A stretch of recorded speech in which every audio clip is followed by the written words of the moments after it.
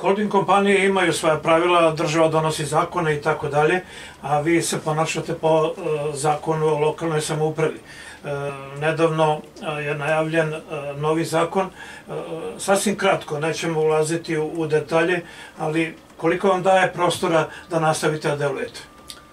Pa, bolje reći da je postojeći zakon donekle izmenjen u nekim članovima, pokušavaju i nadam se da će taj zakon tome i doprineti da lokalna samoprava bude efikasnija, transparentnija, da bude otvorenija ka građanima.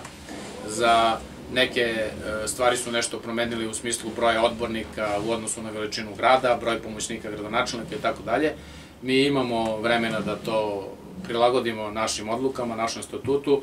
Nadam se da će to e, doneti jednoj fleksibilnoj lokalnoj samopravi. Ono što je u ovom trenutku za nas najveći problem jesu kadrovi zakon o zabrani zapošljavanja nama pravi dosta probleme. Umeđu vremenu su i drugim zakonskim rešenjima prenete nove nadležnosti lokalne samouprava, samoupravi, a sa postojećim kadrovima, ili ajde sad da pričam u ovom sportskom smislu, sa jednim te istim timom i igračima, bez malo nove, sveže krvi, ne možete da date bolje rezultate. Dakle, ako želite e, bolje rezultate, morate da imate obučenije kadrove, zadovoljnije kadrove, stimulisanije kadrove, a sve to trenutno u lokalnoj samupravi, u svim lokalnim samuprava nekako mirno more, neka uravnilovka koja sigurno ne pogoduje boljem radu. Ako sam dobro razumeo, e, država vas tovari novim obavezama, a ne dozvoljava da zapošljavate. Pa otprilike tako. Mi smo na svu sreću od države dobili nekoliko e, pozitivnih mišljenja o zapošljavanju. Do sada je to bilo pet, ali to je malo u odnosu na naše potrebe i malo u odnosu na naše mogućnosti, jer mi po